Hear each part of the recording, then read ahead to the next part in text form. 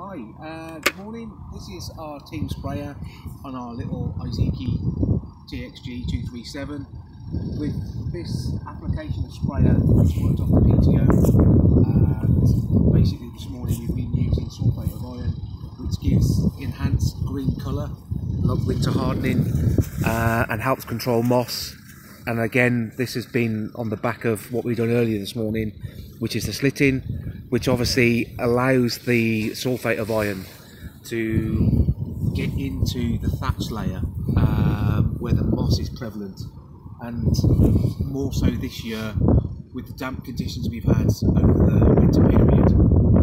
Uh, this is a great tool to try and prevent um, and help control moss basically, but gives that lustrous, vigorous colour and winter hardening.